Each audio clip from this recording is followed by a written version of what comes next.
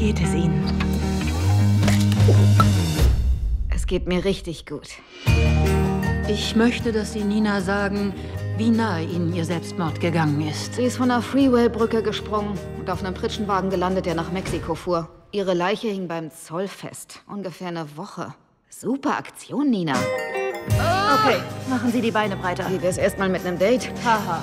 Sie müssen das tun, sagt Doktor. Ich esse es in ein paar Minuten. Versprochen? Beim Grab meiner Mutter. Aber Ihre Mutter lebt.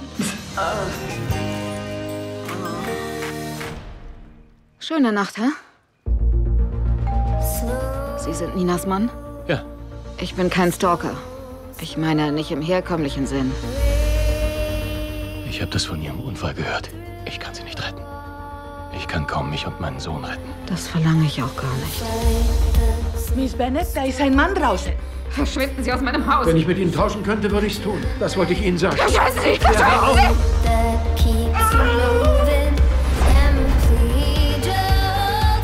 Wünsch dir was. Mir fällt nichts ein. Das macht nichts. Puste sie aus.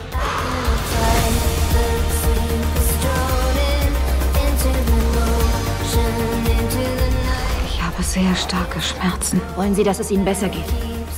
Sag es, Claire. Ich will es.